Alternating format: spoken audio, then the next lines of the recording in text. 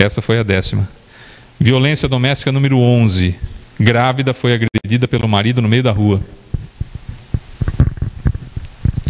Segundo o boletim de ocorrência, o fato aconteceu na noite de domingo, por volta de 20 horas e 15 minutos, no Bom Jesus.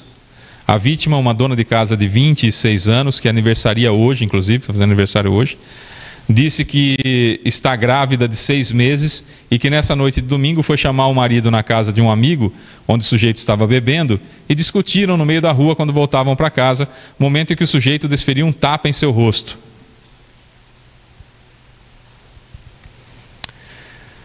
Ela contou também que tentou segurá-lo e, ao se debater, ele teria acertado sua barriga com as mãos. Ela está grávida. O sujeito, um colhedor de laranja de 22 anos, foi encontrado pela PM na casa de um amigo com duas armas brancas, um facão e uma faca. Ele disse à PM que usou as armas para se defender de familiares da esposa agredida. Inclusive, há relatos de populares que ele batia o, o facão no chão no meio da rua, próximo à mulher, inclusive, para ameaçar os parentes que queriam, é, que estavam contentes com ele, né, dele ter batido numa grávida, né? Estavam felizes, né? Que eu vou falar uma coisa para você. Facão e faca é pouco, hein? Facão e faca para mim é pouco.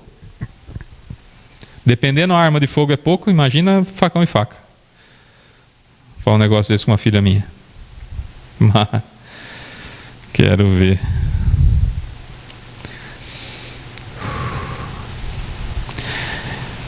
Ele disse à PM que usou as armas para se defender de familiares da esposa agredida.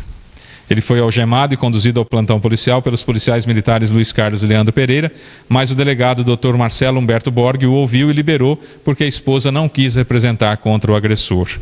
Ninguém foi preso. A viatura policial ficou empenhada nessa ocorrência das 20 horas e 15 minutos do domingo até a zero hora de hoje, para no final ela não representar contra o marido.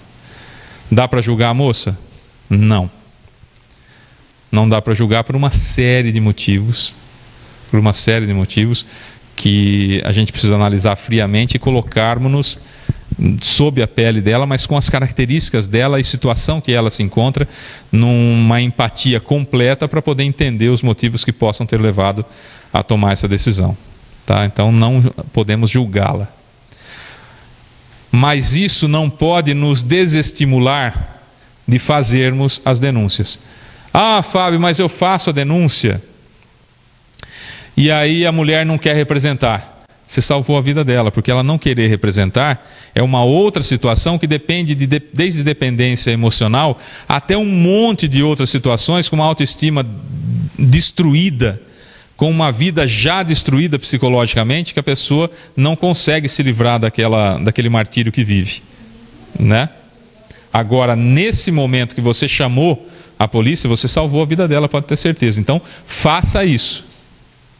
Faça isso ouviu gritos, ouviu discussões, chama a polícia. Chama a polícia. Fiz isso hoje.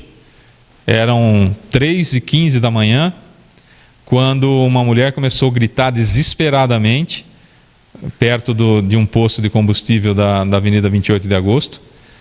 Desesperadamente, porque começou uma, uma discussão ferrenha entre os ocupados que estavam no local e alguém teria puxado uma faca. Eu liguei para a polícia imediatamente, mas é, quando é, provavelmente mais pessoas chamaram também, porque eles já estavam sabendo e eles iam é, designar as viaturas para ir no local, dispersou, cada um foi para um lado e quando a polícia chegou por lá já não tinha mais nada, já não tinha mais ninguém, né? Começou o grito, a gente chamou a polícia. Tem que ser assim, né? Embora não é exemplo para ninguém, foi só um comentário. Violência doméstica, então, chegou a 11 casos só no mês de dezembro aqui na cidade de Matão. Terrível, né?